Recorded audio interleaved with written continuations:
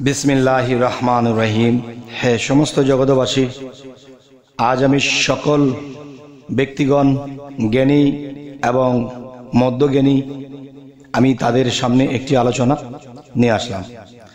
এই আলোচনাটি অবশ্যই যে কাজে আসবে কোন ব্যক্তিদের জন্য, যারা মোটামুটি তরিকত সম্পর্কে জ্ঞান রাখে, আর যাদের জ্ঞান নেই, তারা হয়তো এটি বুঝবেন না। আর যদি চেষ্টা করে বুঝবে। আর এই বোঝাটা খুবই দরকার। সেটি হলো কেমন? যে প্রত্যেকটা তরিকতের এক একটা করে ধারা আছে। তবে কোন ধারাটা শ্রেষ্ঠ? আর সেই শ্রেষ্ঠ ধারাটাই কিন্তু আমাদের দরকার। যেমন আপনি বলতেছেন যে আমি কাদরিয়া তরিকতে বায়াত গ্রহণ করেছি। আচ্ছা আপনি যে কাদরিয়া তরিকতে বায়াত গ্রহণ করেছেন, তার কিন্তু প্রমাণাদি আছে। সে প্রমাণটি কি? যেমন মনে করেন আমাদের ঢাকা শহরের কথা যদি আমরা বলি, যে একটা মার্কেট আছে, সেই মার্কেটে হীরা পাওয়া যায়, স্বর্ণ পাওয়া যায় মানে মোট কথা কোনো কিছুর জন্যই মানুষের সেখান থেকে ফিরে না, সব পাওয়া যায়। তাহলে যদি আপনি বলেন যে হ্যাঁ আমি কাদরিয়া তরিকতে আছি, কাদরিয়া তরিকতে গেলে কিছু বিষয় আছে। যে কাদরিয়া তরিকত কার নামে হয়েছে? আব্দুল কাদের জিলানি রহমতুল্লাহ আলাই তার নামে। তাহলে তিনি, তার কথা কি বলা হয়েছে? যে বড় পীর, তিনি বড় পীর হলো কেন?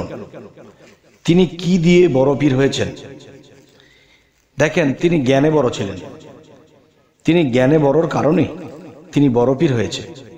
তাহলে পৃথিবীতে বড় পীর যদি নাম হয়ে থাকে, তাহলে ছোট পীরও আছে। এখন, আপনি কোন পীর ধরবেন? আর কি করে বুঝবেন যে আপনি কাদরিয়া তরিকতে আছেন? অনেক মানুষকে জিজ্ঞাসা করলে তারা বলে থাকে যে আমরা কাদরিয়া তরিকতে আছি। আপনি যে কাদরিয়া তরিকতে আছেন, তার কি প্রমাণ? তবে সেই প্রমাণগুলো আমি উল্লেখ করব ইনশাল্লাহ সেটি হলো দেখুন, প্রথমত প্রমাণ হবে, আপনি যখন বায়াত গ্রহণ করবেন, তিনি আপনার ক্ষুদ্র বিশ্ব, এই যে আপনার দেহটা একটা ক্ষুদ্র বিশ্ব। যেমন মহাবিশ্ব ব্রহ্মাণ্ডটা একটা মহামানব এবং আপনার ছোট্ট দেহটা, এটা একটা ক্ষুদ্র বিশ্ব বা ক্ষুদ্র মানব। তাহলে মহাবিশ্ব ব্রহ্মাণ্ডে যা কিছু আছে, তা আছে মানব বাণ্ডে তাহলে আপনার এই ক্ষুদ্র বিশ্বের ভিতরে আপনার পরিচয়পত্র, আপনার মধ্যে বিসমিল্লা আপনার মধ্যে কালেমা, আপনার মধ্যে সেই শ্রেষ্ঠ নবীর পরিচয়পত্র রয়েছে। তাহলে এই পরিচয়পত্রগুলো যখন যার যার মসজিদ সেই বায়াতের দিন দিয়ে দেবে এবং বুঝিয়ে দিবে, বাবারে, ছোটবেলা থেকে তো মানুষ মসজিদে মাদ্রাসায় পড়েছে, তারা কায়দার মধ্যে কালিমাটা পাঠ করেছে, বিসমিল্লা পড়েছে। কিন্তু এই বিসমিল্লা এবং কালিমা তুমি তোমার দেহ কোরআনের মধ্যে কোথায় আল্লাহ ফিটিং করে কীভাবে রেখেছে, তা দেখব এবং পাঠ করব।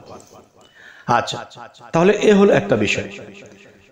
আরও একটা বিষয় হলো যে বড় পীরের জীবনীতে পাওয়া যায়, তিনি যখন কবরের পাশে দিয়ে হেঁটে যাচ্ছে তখন তার এক ভক্ত মৃত্যুবরণ করেছিল। তার সেই ভক্তটি কবরের আগুনে দগ্ধ হচ্ছে। কবরের আগুনে জ্বলছে, কষ্ট পাচ্ছে। যেভাবে জীবনীতে এসেছে, সেভাবে বলছি। তো তখন বরফির বলতেছে যে, আমার তরিকা ভুক্ত লোক কখনোই দুদকের আগুন সহ্য করবে না দুদকে নিক্ষেপ হবে না। তখন কবরা, কবরখানা ফাঁকা করে। ভক্তকে বলছে, তোমার হাত ধর। হাত ধরে টান দিয়ে তাকে কবর থেকে তুলে এনেছে। আর বলল, আমার তরিকতপন্থী যারা আছে, তারা কখনোই দোদকের আগুন ভোগ করবে না। তোমার পাপ ছিল তোমার আত্মায় ময়লা ছিল, সেগুলো তুমি আবার পরিষ্কার করো, এরপরে তুমি আবার চলে যাও। তাহলে তিনি এই ক্ষমতা দেখানো হলো। আচ্ছা তাহলে আরেকটা বিষয় হলো যে একজন চোরের যে ঘটনা আছে, সেই চোর বড় পীরের কবরে ঢুকে যখন কাফন চুরি করবে, তখন বড় পীরের শরীরের ঘষা লেগেছে, যখন বেহুশ হয়ে পড়ে গেল, তখন কিন্তু সেই চোরও একসময় দেখা গেল মারা গেছে। এবং সেই চোরের আজাব হয়নি কেন? বড় পীরের শরীরের স্পর্শ তার শরীরে লেগেছে বলে। আচ্ছা তো এবার আসব। আরও একটি জীবনীতে পাওয়া যায় যে কত জায়গায় কত মানুষের শিশু, বয়স্ক, মধ্যবয়সী কত মানুষ মারা গেছে। তো আজরাইল যখন চলে যাচ্ছে, তখন দেখা যায় সে আজরাইলকে বলতেছে, ওই যে ওই মা কানতেছে তার আত্মাটা দিয়ে দাও। না না, আমি দিতে পারব না। তার যান কবজ করে ফেলেছি। অনুরোধ করার পরে যখন দিল না, আর সেই মা যখন ছেলেকে ভেবে কাঁদছে, তখন কি করল? তখন তার ঝোলার মধ্যে যখন টান দিল, তখন সমস্ত আত্মাগুলো বের হয়ে গেছে। বের হওয়ার পরে দেখা যায়, বিভিন্ন যেখানে গোসল দিচ্ছে, যেখানে দাফন করতেছে কবরে শোয়াবে এমন এমন পর্যায়ে যখন চলে গেল, সমস্ত আত্মাগুলো যখন বের হয়ে গেল, সমস্ত লাশের ভিতরে এই আত্মাগুলো ঢুকে দ্বারা জীবিত হয়ে গেছে সোবান আল্লাহ তাহলে আজকের এই আলোচনাটা কেন করলাম? এই জন্যই করলাম, আমরা কিন্তু বলি যে আমরা কাদরিয়া তরিকতে বায়াত গ্রহণ করেছি। কাদরিয়া তরিকতের পীর বড় পীর, তিনি বড় হলেন কেন? তার উপরে কিসের পাওয়ার? সেই পাওয়ারটি হলো গাউসুল আজম গাউসুল আজম যে পাওয়ারটি তাকে দেওয়া হয়েছে এবং গাউসুল আজম কে? তিনি মহা সাহায্যকারী, শ্রেষ্ঠ সাহায্যকারী।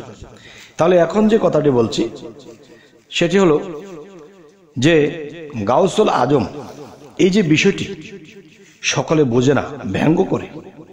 যারা ব্যঙ্গ করবে, না বুঝে তাদের কঠিন শাস্তি হবে। কারণ গাউসুল আজম শব্দের অর্থই মহা সাহায্যকারী। আর মহা সাহায্যকারী কে? মহা সাহায্যকারী আল্লাহ নিজেই বড় পীরের ভিতরে আল্লাহ গাউসুল আজম হয়ে ঢুকেছে এবং ঢুকে ভক্তদেরকে রক্ষা করে থাকে সবহান আল্লাহ তবে এখন কথা হলো, পৃথিবীতে কাদরিয়া তরিকতের কিন্তু অভাব নেই। কিন্তু তার দোকানটা চায়ের দোকান। এখানে দুই হাজার টাকার মাল আছে। এটাকে লেখা আছে মামুন স্টোর আবার সেই ঢাকা শহরের মাঝখানে একটা মামন স্টোর আছে, কোটি কোটি টাকার মাল, সেটাও কিন্তু মামন স্টোর কিন্তু নাম দিয়ে চালিয়ে দিলে হবে না, কাজে সেই মাল থাকতে হবে। তবে অবশ্যই যারা কাদরিয়া তরিকতের অনুসারী এবং কাদরিয়া তরিকত মূলত হাকিকতের কাদরিয়া তরিকত যারা পাবে তারা জয়লাভ করবে ইনশাল্লাহ জ্ঞানের দিক দিয়ে, গুণের দিক দিয়ে এবং তারা এটাও লাভ করবে যে তারা দুযোগ তাদেরকে স্পর্শ করবে না যদি সেই আয় কর্ম আমল করে যেতে পারে, তার সেই শাস্তি হবে না। তবে হে সমস্ত জগতবাসী আজকের এই আলোচনা এই জন্যই করলাম যে বিভিন্ন মানুষে বিভিন্ন তরিকতে বিভিন্ন তরিকতে বায়াত গ্রহণ করছে, কিন্তু কাদরিয়া তরিকতে যারা বায়াত হচ্ছে, কাদরিয়া তরিকত মনে করে আসলে কিন্তু সেটা তা কাদরিয়া তরিকত জ্ঞান বিচারে গেলে সেটা টিকে না। টিকাতে হলে সেই বায়াতের মধ্যে আপনার ভিতরে কালেমা, আপনার ভিতরে বিসমিল্লাহ, আপনার ভিতরে আপনার পরিচয়, আল্লাহর পরিচয়, শয়তানের পরিচয় ফেরেস্তাদের পরিচয়, এগুলা পেয়ে বায়াত গ্রহণ করলে তখনই বুঝবেন যে হ্যাঁ আমরা কাদরিয়া তরিকতে মূলত এসেছি। এখন কর্ম ও সাধনার পালা। হে সমস্ত জগতবাসী আজকের এই আলোচনা এই জন্যই করলাম যেন মানুষ বুঝতে পারে আসলে তরিকতের ভেদ বেদান্ত কি। তবে মোজাদ্দিদিয়া আছে নকশবন্দি আছে চিস্তিয়া আছে। তবে দেখেন চিস্তিয়া কাদরিয়া, দুইটা একযোগ। প্রায় সেম মুজাদ্দিদিয়া, নকশবন্দিয়া, তারা একযোগে, প্রায় সেম ওই দুটি জোড়া এইখান থেকে দুটি জোড়া। এখানে আল হাসানি, আল হোসেনি হাসানের গুণ নিয়ে এসে গেলেন বড় পীর। হোসাইনের গুণ নিয়ে এসে গেলেন খাজা মনুদ্দিন চিস্তি। তাহলে আমরা কাকে ছাড়বো? তাহলে আমাদের তরিকত কি? কাদিয়া চিস্তিয়া উভয়ই। তবে হে সমস্ত জগতবাসী আপনাদের যদি আজকের এই আলোচনা ভালো লাগে, তো অবশ্যই সাবস্ক্রাইব করে নেবেন ফেসবুক হলে অবশ্যই ফলো করে নেবেন, এবং সামনে যেন আপনাদেরকে ভালো আলোচনা দিতে পারি। তো সকলে ভালো থাকবেন, আল্লাহ হাফিজ।